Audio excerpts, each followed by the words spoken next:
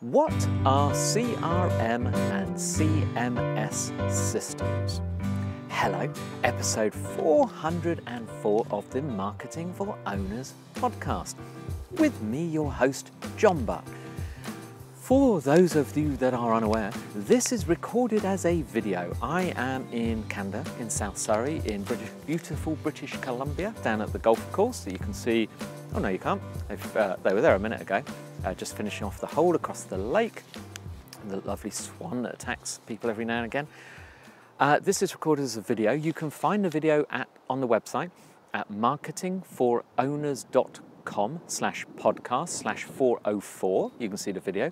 You can see the full show notes. This is actually transcribed and written, so every link, everything I mention, every, uh, every little tip is there.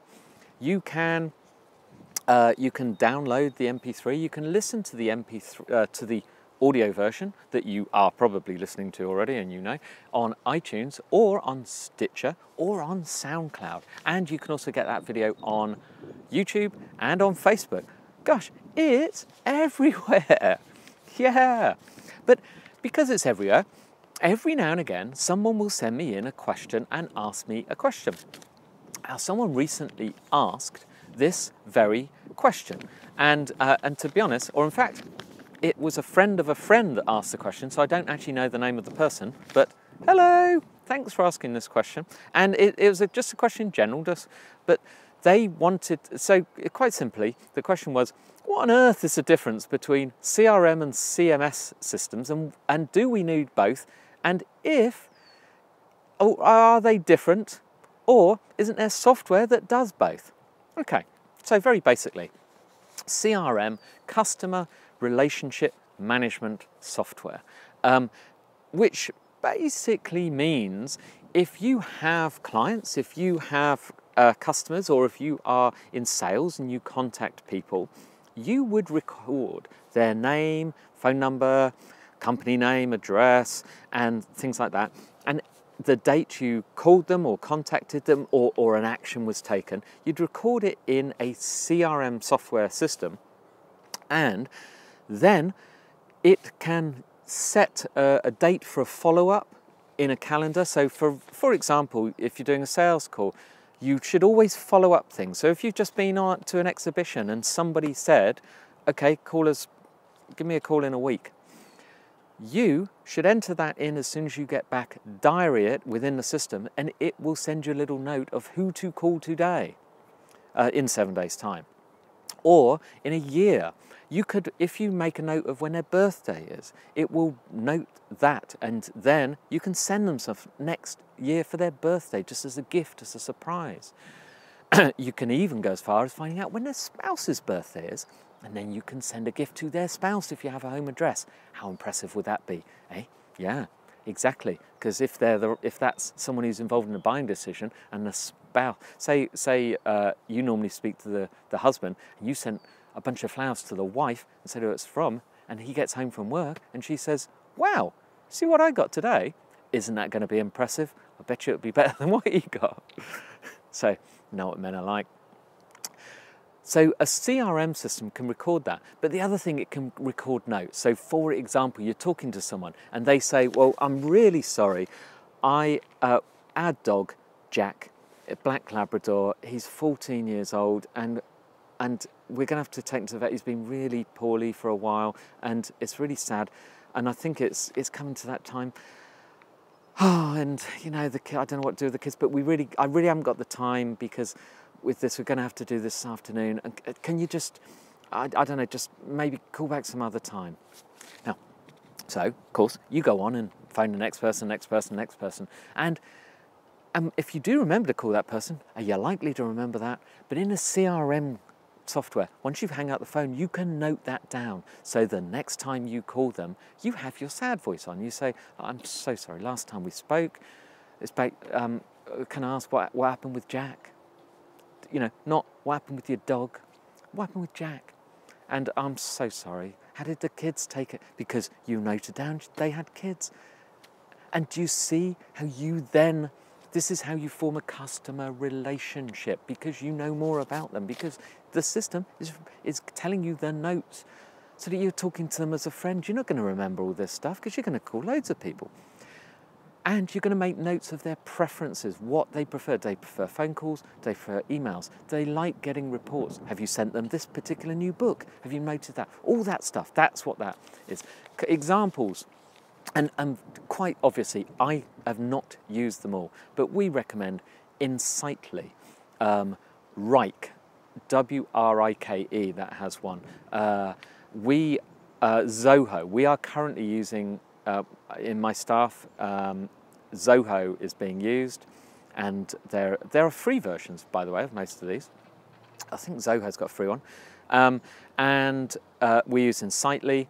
Uh, the biggest, in the past, you may have heard of Act. I think Act was bought by, uh, used to come installed on computers back in the day. It's bought by Sage. So, so Sage, the uh, the accounting software people, the biggest one in the UK, has, has a CRM system, which you think, I don't know if it does, but in theory, and we do use Sage by the way, but we don't use their CRM, in theory, it should link. So if you put a, an address and details in, in the accounting, it should cross over to that. Hmm?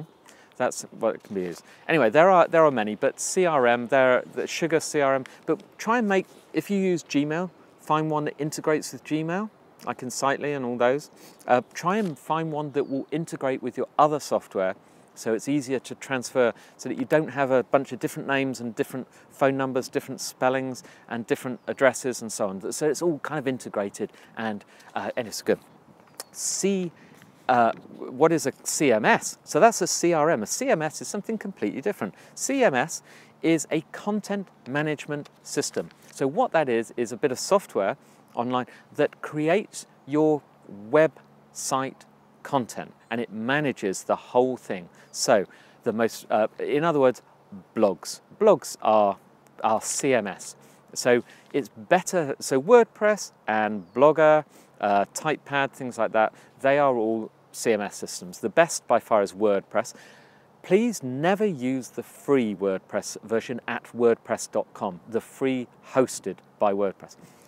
WordPress is going to confuse you. WordPress software for your website is free, but you need to download it and, and pay for a hosting service of your own. So then you are hosting and it's your software. It is yours. You own, you have the database, everything. It all makes sense. Uh, if you want to know, if you want to be able to put one together, we have our own special click by click. So how to build a website. You click this, you do this, you do this to set up a website to, that really, really, really works and gets customers, go to website101.co. Website101.co and just read that. It's got all the information there. If you want to know more, just uh, send me an email or message me and I will I, will tell you whatever you need to know about it. It's got a 60 day money back guarantee, but that is not the point of this. That WordPress is a CMS system. So what will happen is you will upload photos, you will write blog posts, you will add new products and services and things that you do in, on your website over time because you should be in control of your own website. It's your marketing hub.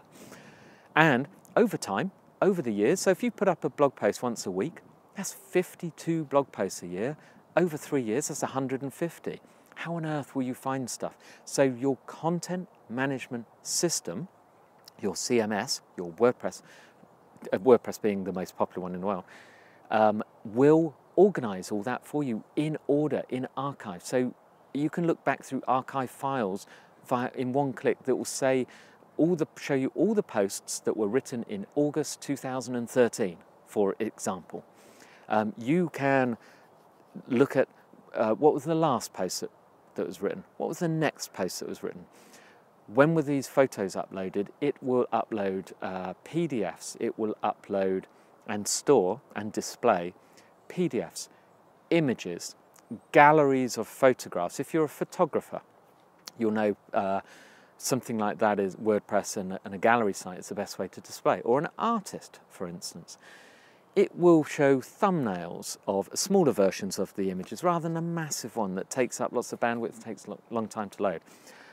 So, yes, you need both. No, they are not com combined. They sound similar, but they are not. They are different things. Yes, you need both because you must use simple tools, preferably free ones, to make your life easier, to enable you to do more because there are many distractions, there are many things to do. If you're going to work, if you're going to build a business, sorry to uh, not to sugarcoat it, you're going to have to work hard. There's no magic secret. I can give you tips galore. You've got to do them. You can't just listen and think, oh, that's easy enough. No, you've got to actually do them. I work hard. It may not look it, but I do. And it's not easy, but it does work. And once it works, it's easier than any other way of doing it. So if you want to uh, see all the tools that I use every day and all the tools that my staff use every single day, and there are millions, but the ones we use every day, go and download this free ebook. Over, I haven't looked lately, but well over 5,000 people have downloaded this because it's quite a good one and we get good reports back. This also looks quite pretty, by the way. Go to marketingforowners.com slash 71. And that is the 71. You think, gosh, that's a lot. You don't have to use them all, but these are the ones, and it will explain which, uh, which CRMs. By the way, for those of you that have got it before, it's just been updated. A couple of things have changed because we don't use the same ones forever. If new stuff comes out and other stuff gets bad or something better, we update. It has just been updated. You may be interested to go get the new one. Let me know what you think it's going to be good. Now, special mention, this is going on a bit, but I wanted to answer the question. The question, it's podcast time. Today I'm recommending Isabella Russell's new Media Europe show, right? It is British, she is great, and her husband Mike Russell, they run a fantastic business. And this weekend, yes, this weekend, I think Saturday, is it on for two days? I'm actually going, and I ought to know, I'm staying there. I'm staying there Friday night, and I'm going to stay there Saturday night. It's a black tie day, Saturday night. Um, and I was interviewed on this, by the way, on the 21st of April. So uh, Isabella interviewed me. Well, strangely, she was in the UK, I was in Canada. It's every two or three days, it's 25 to 30 minutes. She interviews great people. She's got a lovely way about her. She's really, really nice. It's a good show.